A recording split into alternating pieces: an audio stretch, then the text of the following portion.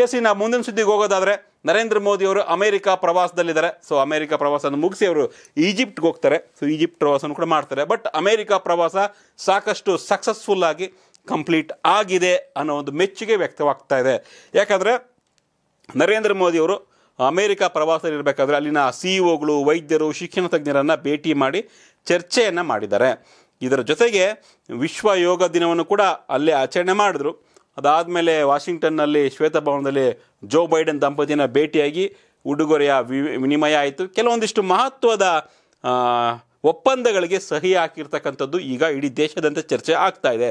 ಬಹುರಾಷ್ಟ್ರೀಯ ಸಮೂಹ ಏರೋಸ್ಪೇಸ್ ವಿಭಾಗವು ಭಾರತೀಯ ವಾಯುಪಡೆಗೆ ಫೈಟರ್ ಜೆಟ್ ಎಂಜಿನ್ಗಳನ್ನು ಉತ್ಪಾದಿಸಲು ಹಿಂದೂಸ್ತಾನ್ ಏರೋನಾಟಿಕ್ ಲಿಮಿಟೆಡ್ನೊಂದಿಗೆ ಸಹಿ ಹಾಕಿದೆ.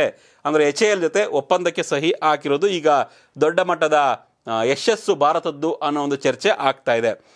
ಜಿ ಇ ಏರೋಸ್ಪೇಸ್ ಬಿಡುಗಡೆ ಮಾಡಿರ್ತಕ್ಕಂಥ ಪತ್ರಿಕಾ ಪ್ರಕಟಣೆಯಲ್ಲಿ ಈ ವಿಚಾರವನ್ನು ಹೇಳಿದ್ದಾರೆ.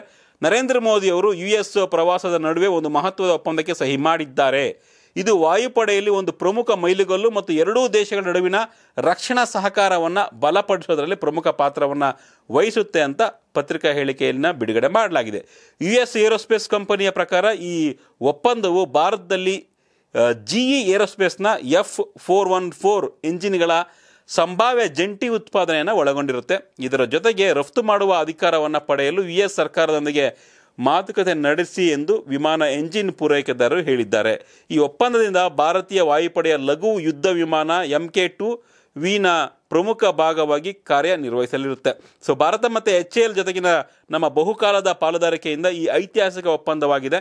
ಅಂತ ಜಿಇನ ಅಧ್ಯಕ್ಷ ಮತ್ತು ಮುಖ್ಯ ಕಾರ್ಯನಿರ್ವಹಣಾ ಅಧಿಕಾರಿ GE aerospace CEO H Lawrence Culp junior ಹೇಳಿದ್ದಾರೆ.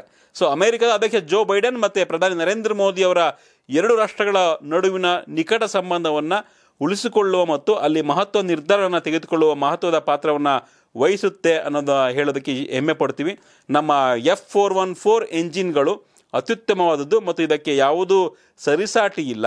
ಇದು ಎರಡೂ ದೇಶಗಳಿಗೂ ಪ್ರಮುಖ ಆರ್ಥಿಕ ಮತ್ತು ರಾಷ್ಟ್ರೀಯ ಭದ್ರತಾ ಯೋಜನೆಗಳನ್ನು, ಪ್ರಯೋಜನಗಳನ್ನು ನೀಡುತ್ತೆ.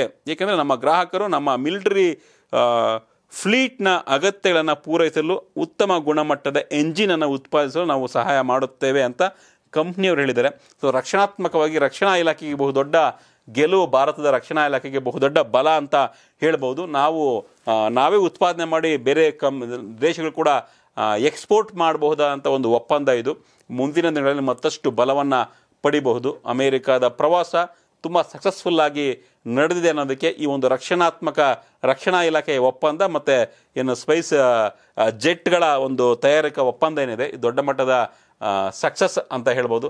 ನರೇಂದ್ರ ಮೋದಿಯವರು ಅಮೆರಿಕ ಪ್ರವಾಸನ ಮುಗಿಸಿ ಈಜಿಪ್ಟ್ ಪ್ರವಾಸಕ್ಕೆ ಹೋಗ್ತಾ ಇದ್ದಾರೆ. ಸೊ ಅಲ್ಲಿ ಏನೆಲ್ಲ ಒಪ್ಪಂದಗಳಾಗಬಹುದು ಮತ್ತಷ್ಟು ಅಪ್ಡೇಟ್ಸನ್ನು ಕೊಡ್ತೀವಿ. ಇನ್ನು ಮುಂದಿನ ಸುದ್ದಿಗೆ ಹೋಗೋದಾದರೆ, ಎಸ್, ಮತ್ತೊಂದು